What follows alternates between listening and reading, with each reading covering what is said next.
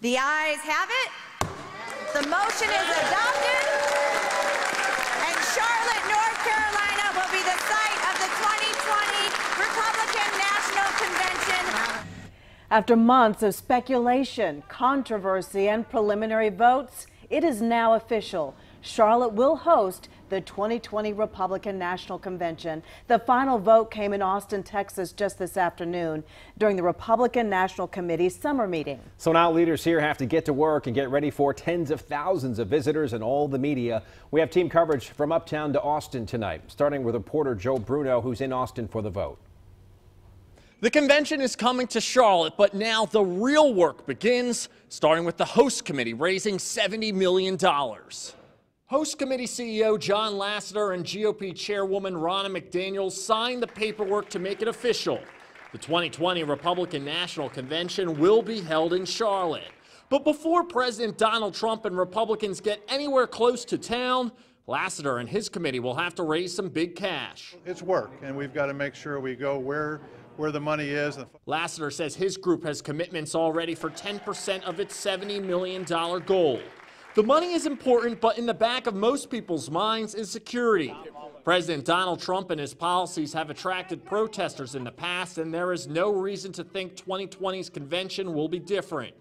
Councilman Ed Driggs says the city knew what it was getting into before placing a bid. We felt that the benefits of the city outweighed the risks. There are more than 700 days until the 2020 convention. Mayor Pro Tem Julie Eiselt says that gives the city the advantage over the protesters because the next two years, the police force and council will be focused on keeping Charlotte safe. There will be protesters. That's, That's democracy. Right. And so we've got two years to plan that. Charlotte City Council gets back to its regular business on Monday, but make no mistake, this issue will dominate over the next two years, including how the city moves forward with security. Reporting in Austin, Texas, I'm Joe Bruno, Channel 9 Eyewitness News. Now, Joe, thank you. We still don't know exactly when the RNC will be. The committee is considering three different weeks in July and August. They have to consider the dates for the DNC, and they do not want to conflict with the Olympics. A final decision, though, has to be made by September the 15th. When Charlotte hosted the DNC in 2012, an estimated 35,000 people came to town. Charlotte's success in that big spotlight is one thing that helped us get the RNC. Eyewitness News reporter Mark Becker is live for us uptown. And Mark, certainly a lot has changed since 2012. Yeah, Erica, starting with the skyline right behind me back here, many of those buildings you're looking at, high-rise apartment buildings holding now 10,000 more people who live uptown than just six years ago. And there are a lot more places to eat and drink here as well. We're doing a wonderful quail right now, crispy. Rachel Coel raves about the farm to table menu at Haymaker, a shiny new restaurant that just opened in April right in the heart of what will be Convention City two years from now.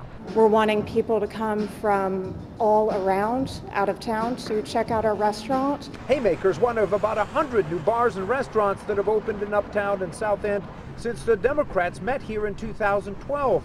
The number of hotel rooms will have jumped even more dramatically from 4,400 to 7,300. This has been our most prolific decade that we've had, period. Michael Smith is president of Center City Partners. He was here for the Democratic convention when Uptown dressed up and then locked down with security and says they'll be ready for round two. I was here. Like, we, we know how this will go. We know the demands that Secret Service will have. Joanna Skourtes was here too. She runs Greens, where hot dogs have been on the menu since Calvin Coolidge was president. She ran the security gauntlet in 2012 and will have to do it again. Just uh, inconvenience is basically, you know, having to come down here an hour earlier to try to get through before the roadblocks and everything. But, you know, we'll live with that. And that's the spirit we find among a, a number of people. Not all of these, of course, are high-rise apartments. A lot of them office buildings. We're also told about 20,000 more people working in uptown Charlotte than just six years ago. So a very different landscape here. Reporting live uptown, Mark Becker, Channel 9 Eyewitness News. Now, back in 2012, one of the only complaints from visitors was about the quality of the hotel rooms. Hundreds of people had to stay at what they called lower rate hotels. They complained sometimes about bugs, trash, bars on the windows, and rooms that smelled like smoke.